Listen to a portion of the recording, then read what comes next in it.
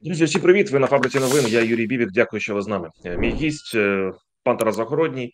Ви всі чудово знаєте. Привітаємо його, пан Тарасе, радий бачити. Доброго дня. Дякую, що ви з нами. Сили оборони України уразили нафтовий термінал Росіян у Феодосі. Повідомляє Генеральний штаб. І там ну так приємно спостерігати він там димить, горить і так далі. Ну можливо, це буде там банальне традиційне запитання, як це вплине там на. Е, на логістику, на постачання і так далі, і тому подібне. Е, це можливо перше буде запитання. А друге, як можна такі удари подвоїти? Реально, я там розумію, що ну я так точно не військовий експерт, але те, що ми ну не так часто вражаємо, так стоп, це неправильно. Те, що ми вражаємо там ці е, термінали, бази, сховища і так далі, не так часто як хотілося б.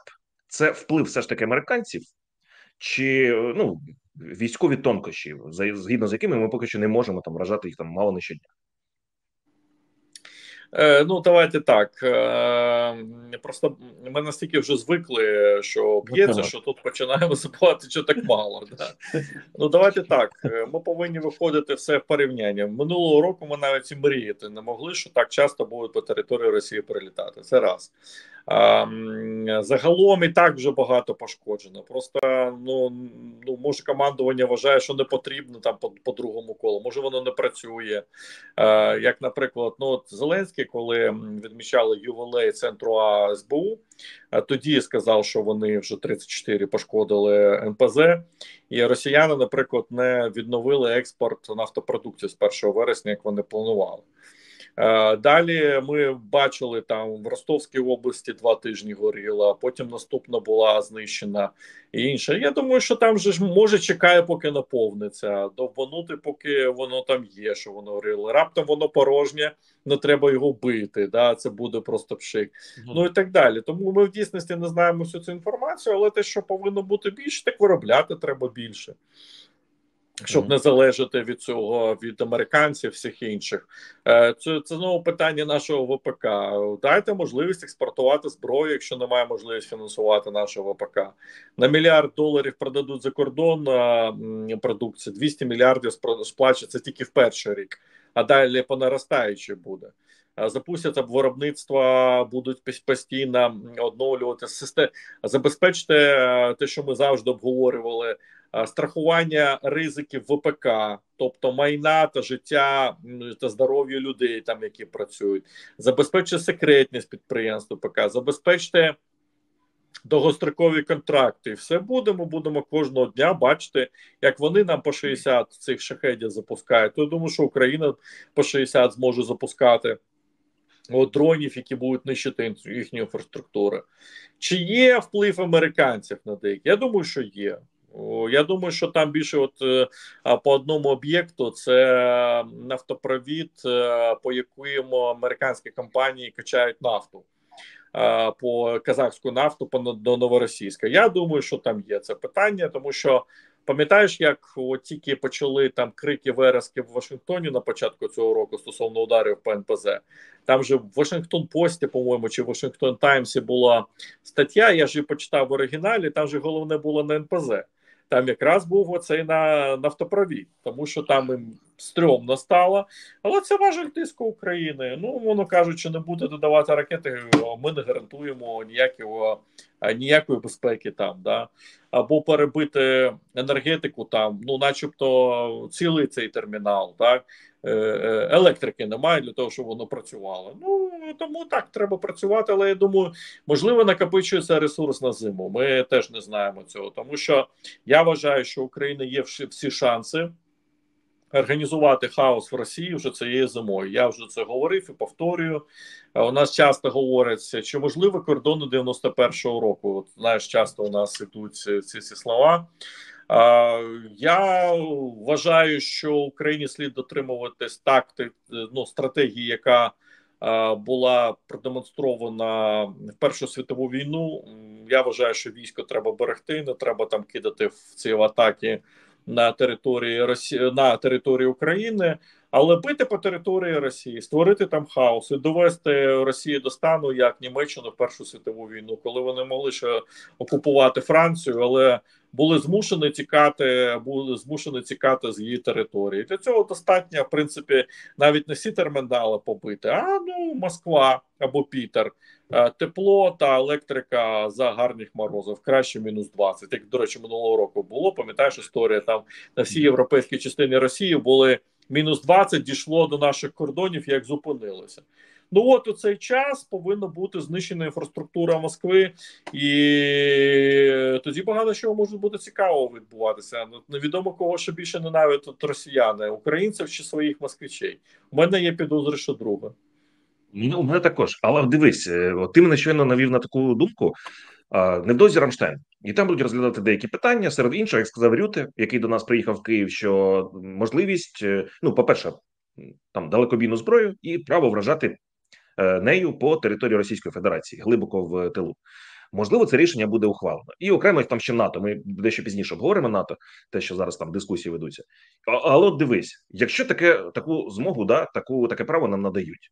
Чи може з таким правом е, бути наступне табу? Друзі, є військові об'єкти, вражайте їх там аеродроми, носії і так далі, але не вражайте нафтові бази. Не цими ракетами, не вашими безпілотниками, тому що це впливає там на ціни на нафту, ціни на нафту впливають на ціни на бензин, і для нас це дуже важливо. Ребятки, давайте краще е, не зараз. Можуть бути ось такі обмеження, як думаєш? Ну, вони ж до, до виборів це говорили, що їм потрібна нафта, але я думаю, що тут Ізраїль може виправити цю помилку.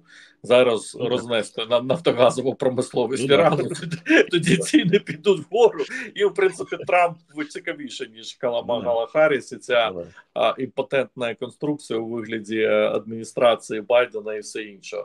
Е, тому я ну чи буде торгуватися можливо, але я думаю, що тут так треба нахабно йти. Е, ось бомбардувати, бомбардувати, бомбардувати. Що значить не бити енергетику? Це якраз слабке місце росіян.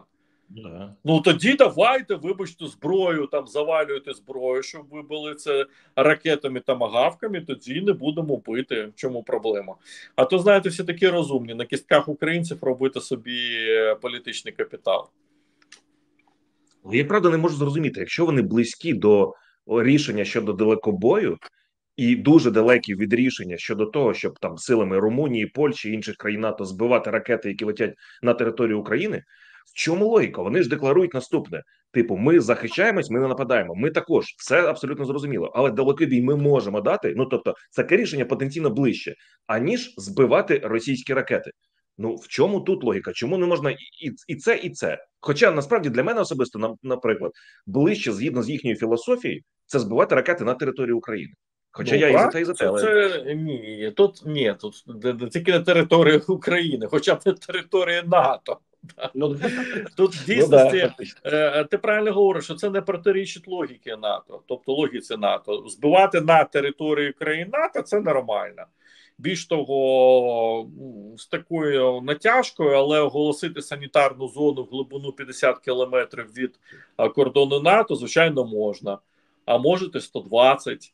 А це було взагалі супер, тому що це відомо всі е, аеродром Салавійка, як Салійка. Савослейка. Савослейка, да. А воно ж знаходиться десь 170 кілометрів від кордону від Фінляндії вже зараз. Так а, тому тут е, тут тільки політична воля, але за цією імпотентною адміністрацією Байдена я не вірю, що це можливо. Невдовзі Рамштайн, як я вже сказав, і про що пише західна преса? Цікаві доволі е, новини. Країни НАТО на Рамштайні е, можуть запропонувати конкретні кроки щодо вступу України в альянс. Е, кінець цитати, пане Тарасе. Що це може бути? Як ти думаєш? Які конкретні кроки можуть запропонувати нам щодо НАТО? Засуньте свої кроки в 2008 рік, де вам теж ви обіцяли нам своє НАТО. Да? Це розводка називається. Це починається. Знаєте, давайте ми не дамо бити по території Росії. Тут починаємо віртуально приймати в НАТО. Це все брехня, відверто говорю, розводки а, і так далі. Поки не буде кордонів 91-го року, ні про які вступу в НАТО не може бути йти мови. Як і цю туфту, яку там говорить Столтенберг про те, що можливо прийняти Україну частинами НАТО. Брехня на брехні, просто відверто говорю. Пояснюю, чому. Там часто там доводиться цей приклад Німеччини. Е, говорять, ну от Німеччина була розділена брехня. Одразу ж говорю, брехня, тому що вона не враховує історичний контекст. Німеччина не була була спеціально розділена за рішенням наддержав. Тому що всі подумали, що забагато дві світових війни, які розв'язала Німеччина, це щось забагато за останні ну, 30 років. Краще її розділимо. Це був консенсус, фактично. Так і радянському союзу залишили, до речі, найбільш цю а, як а, ем, ядро Німеччини. Це ж Прусія, яка і створила сучасну Німеччину, об'єднала її і так далі. Так ось, е, коли говорять, що Німеччину прийняли в НАТО, вона потім об'єдналася. Брехня на брехні, я вам е, говорю наступне. Е, по-перше, Німеччина змогла вступити в НАТО ФРН тільки в 55-му році. Це при тому, що НАТО було створено в 49-му році. Наступна хвиля розширення була в 52-му році. А що ж сталося, що вони аж тільки в 55-му році змогли? Так Сталін помер в 53-му році, як і припинилася Корейська війна, так і тут. І прийшли до влади, навіть не Хрущов прийшов, а був Малінков Берія, це був він тандем, які готові були е, е, домовлятися з Заходом. Берія взагалі пропонував віддати Німеччину. А його правда потім розстріляли як англійського шпіона, мабуть, за те, те, що він і колхози там пропонував розпустити. Берія ж розпустив ГУЛАГ, це ж не Хрущов. Це Берія підписав амністію. Тобто послаблений режим вони готові були дотримувати, що кордон не буде рухатись, який був. Далі а, членство в НАТО обміняли на нейтралітет Австрії. Австрія досі нейтральна країна, вони не є членом НАТО. Це щоб війська з півночі на південь не могли е, перекидуватись так легко. Так Там Швейцарія йде нейтральна, Австрія нейтральна, ну і Угорщина, яка вже була під контролем е, е Союзу. Тобто вони невілювали вступ НАТО. Ну і головна деталь. Головна деталь. А хто ж міг дотриму, змусити дотримуватись тих домовленостей?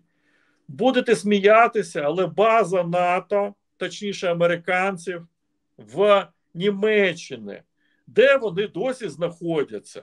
Рамштайн, це що таке? Це база, одна з найбільших військово-повітряних баз Сполучених Штатів Америки поза межами США.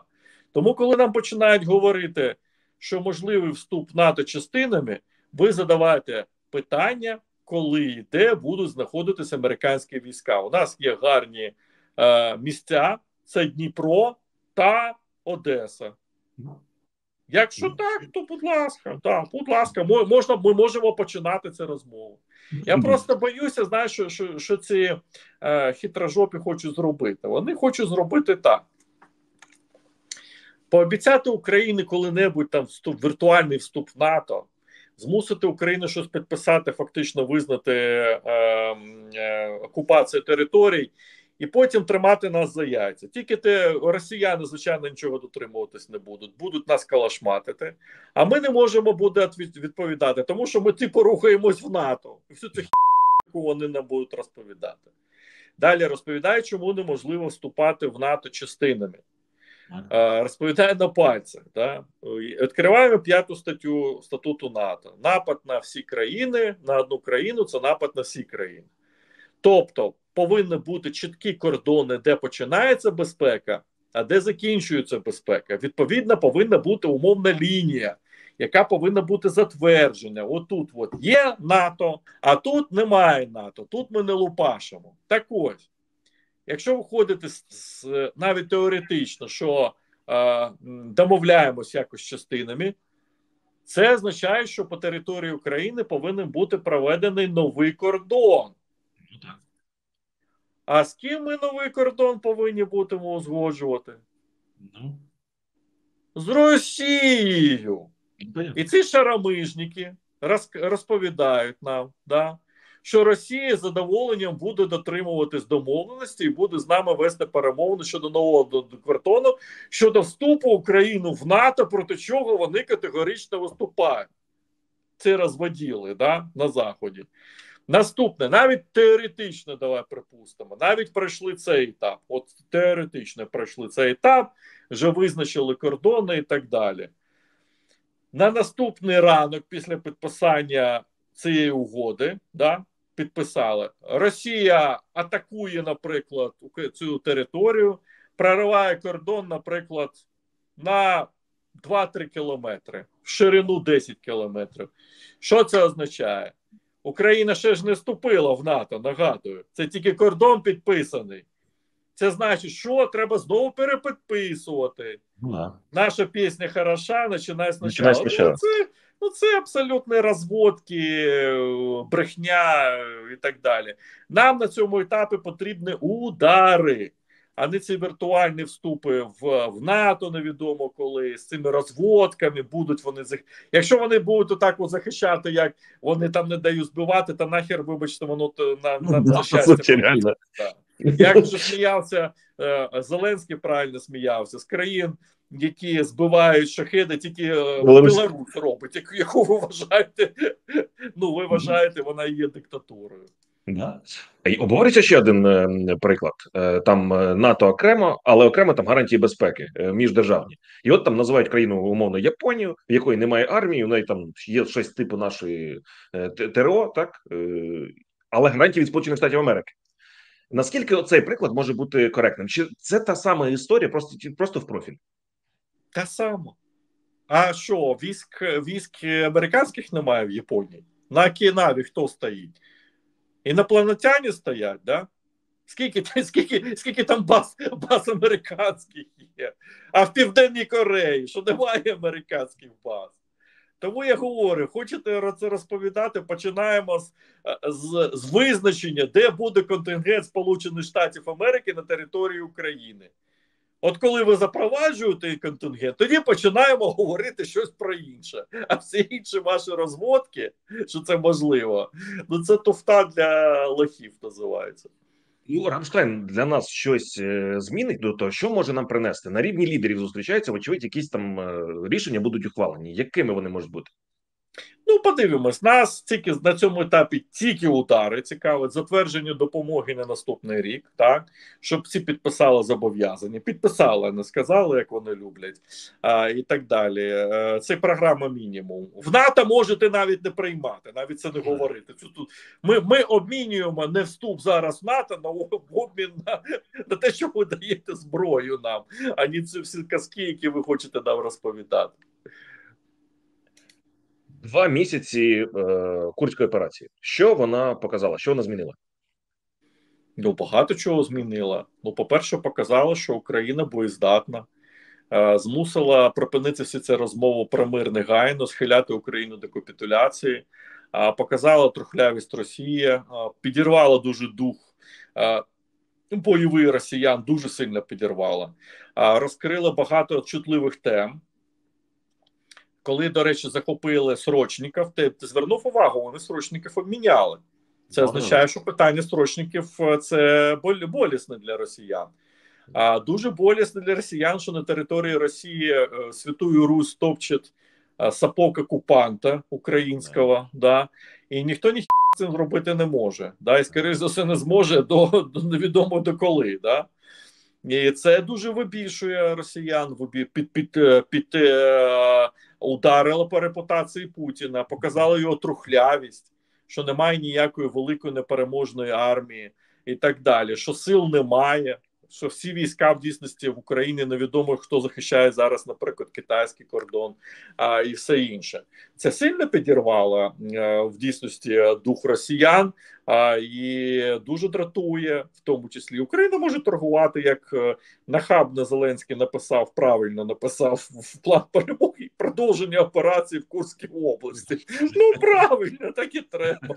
Так і треба це робити. Щоб всі бігали і вмовляли, давайте ви не будете лізти а ми будемо запитувати, а що нам за це буде. Так давайте зброю, тоді ми підемо. Ну це це, це питання торгівля, але свою величезну роль воно вже відіграла. Давай будемо відверти, як там би не говорили, і так далі. і так далі. Воно відіграло дуже величезну роль, а і буде ще відігравати. В Forbes Україна вийшла стаття. Вона є не новою, але теми мені здається, що актуальна. Її варто обговорити про те, що в офісі розглядають там можливість звільнення Буданова, Умєрова і Сирського. Потім, щоправда, ми маємо це сказати. Там опешні блогери почали спростовувати цю інформацію.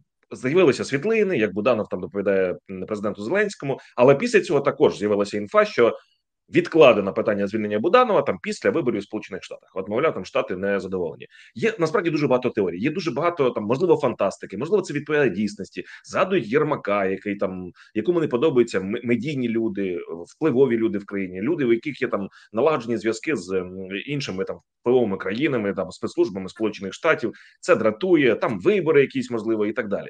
Як це нам правильно усім е, потрібно сприймати? От відставка трьох там ну реально чи не ключових там осіб в державі? Ну давайте так. Ми повинні розуміти, що це питання компетенції президента, тому що він він є верховним головнокомандуючим. Він це, це його критерії, він визначає хто відповідальний, відповідальний. Як то нас теж говорили, що апокаліпсис наступить, якщо залужного звільнять. Ну нічого, апокаліпсис не наступив. Там фактично все, що там було десь просідання і так далі, пов'язане було з виключно затримкою допомоги наших партнерів, так і багато чого інших. Там да ну я не військовий, не думаю, що там сильно щось помінялося. Ось це військово повинні сказати, але так сказати, що апокаліпсис не це, це не ми не повинні прив'язуватись до інституцій, так а точніше до персоналів. Ми повинні прив'язуватись до інституції. Я впевнений, що є купа бойових генералів, ось які спроможні там підхопити. Ось те саме там відомстві Буданова. Я думаю, купу спеціалістів відривання голів є, існує так. Тому в даному випадку я.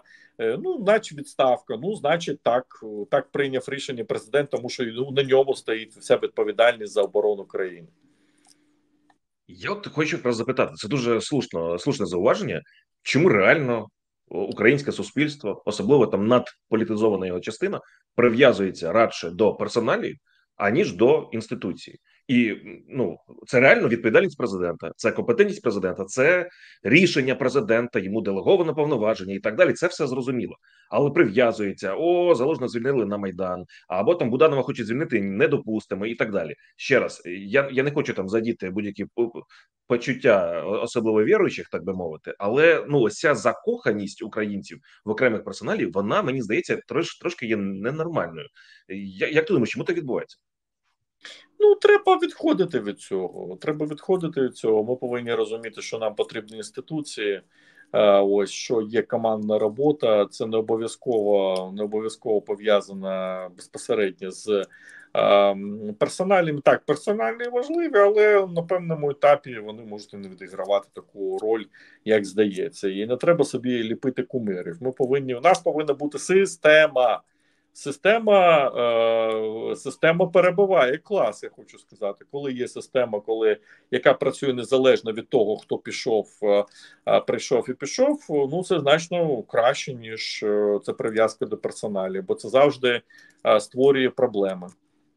Це з однієї сторони абсолютно погоджуюсь, це зрозуміло. З іншої сторони, аргументи цих людей можуть бути такі: слухайте, а ми не закохуємось в цих людей. Ми не прив'язуємось до персоналів. Ми розуміємо, що є політичні мотиви, тому що людина набирає там авторитет, вагу, вплив і так далі. І в неї є амбіції. Ну хіба погано комусь заборонено мати амбіції чи плани там балотуватися да, на найвищий пост державі? Ні, не заборонено. Ми підтримуємо цю людину. Мені вона подобається на цій посаді, але її збивають тут ЗП, телефонують, збивають, звільняють, в посли переводять і так далі. Це ж також доречне зауваження. Чому ні? Які політичні амбіції? Війна йде в країни. Ну ну що, значить, вибори, вибори, вибори можливі тільки після війни, так? Це раз. Е, це там шукати все інше. Ну шукати там медійний, не медійний. Ну я не думаю, що якщо, наприклад, зараз Зеленський проведе вибори, він сильно програє. Там да, і у мене така така підозра, особливо якщо залужний, наприклад, не буде висуватися. Я думаю, що Зеленський виграє ці вибори, якщо хтось а, хтось в чомусь сумнівається, там ну припустимо. А якщо Зеленському ще вдається звільнити 90, 91 рік, вийти на кордони, дотиснути Росію. Я скажу, я думаю, що Зеленський виграє ці вибори теж. Ну просто без без будь-яких цього. Тому тут питання результатів. Я думаю, що і пан Зеленський все це розуміє. Що я думаю, вони теж бачать, що коли ти б'єш по Росії, чим частіше ти б'єш по Росії, наприклад, да, тим краще у тебе рейтинги. Питання не в тому, що там які у тебе конкуренти, там Буданов, все інше. От краще з ними якраз вони разом в команді. Там у Буданова з Малюком там гарне змагання. Хто більше перекінчить е, цих а, ворогів України на території Росії, хто більше замочить дронів там да чи НПЗ. Оце працює на загально на в тому числі на Зеленського. Тому я в даному випадку ну е, ну логіка частково є в цих словах, але це занадто так така натягнута, тому що зараз не вибори, зараз виживання, питання виживання країни. Останнє запитання. Безперечно, зараз найголовніше це питання виживання країни, і тут про вибори взагалі говорити зась з однієї сторони, а з іншої про це говорять. Західна преса пише, он за економіст в 2025 році хочуть вибори провести там за поза поза ефіром. І ти ж це ж не секрет ні для тебе, ні для мене. Поза ефіром про що нам говорять? Про те, що там я чув, що мають провести вибори наступного року. Ну реально така ж інформація є. Чому взагалі про це говорять? Це спеціально там розповсюджують таку історію, чи реально щось готується, чи над цим розмірковують? Давайте так. Західна преса в цю війну, я думаю, українцям показала, що вони готові друкувати будь-яку фігню, чесно кажучи, навіть не перевіривши. Більш того, я впевнений, що багато чого інспірується або з Москви, або з України. Більше з Москви. Росіянам цікаво розхитувати українців, різні там версії вигадувати. Вони розуміють, якщо ти на Russia Today це скажеш, українці скажуть, що це брехня. А якщо те саме ти напишеш, наприклад, The Economist, де люди жодного разу не брали гроші за замовні статті, звичайно, так то звичайно українці будуть сидіти обговорювати. Мене, мене, наприклад, розсмішила ця стаття, де писалося про те, що.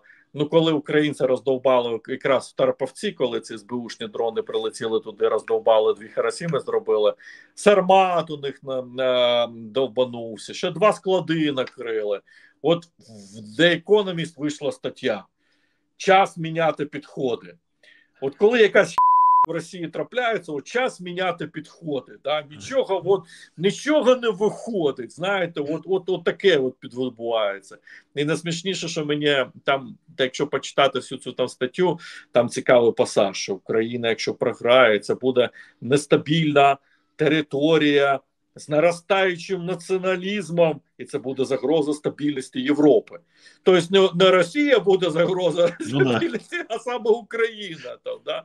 І тут, знаєте, в цій фразі можна сказати, Штирліц ніколи не був так на грані провала. Там, да? Це ну, тільки у росіян там націоналізм, бандерівці і все інше тут ходять і так далі. А, Тому ми повинні е, теж ділити на 25 все, що друкується в, в американській пресі і все ще інше. Теж розуміти, що є люди, які задоволені беруть гроші, і е, теж на це розуміти, що багато чого пишеться е, не на користь України, в тому числі вони не для нас пишуть там. А у росіян бюджети на медіа вони ніколи не шкодували. Є і корисні ідіоти, є просто приготовані журналісти і багато чого іншого для того, щоб розхитувати українців всередині. Абсолютно згоден з тобою. Спасибі величезно за цей ефір. Було реально дуже класно і дуже цікаво. Дякую.